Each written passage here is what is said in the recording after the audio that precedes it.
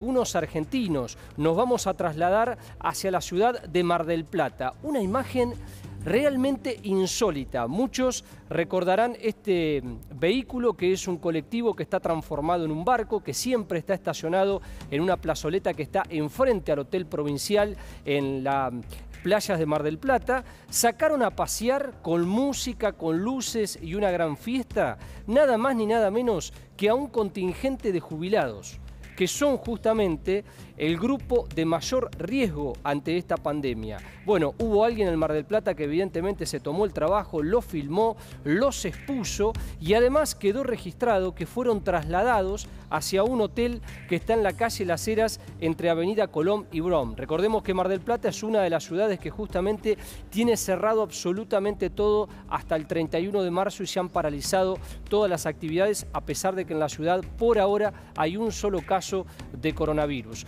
¿Cómo está la situación en cuanto a las denuncias? 3.600 denuncias registradas a través de los teléfonos oficiales por incumplimiento de la cuarentena. Hay 300 causas penales.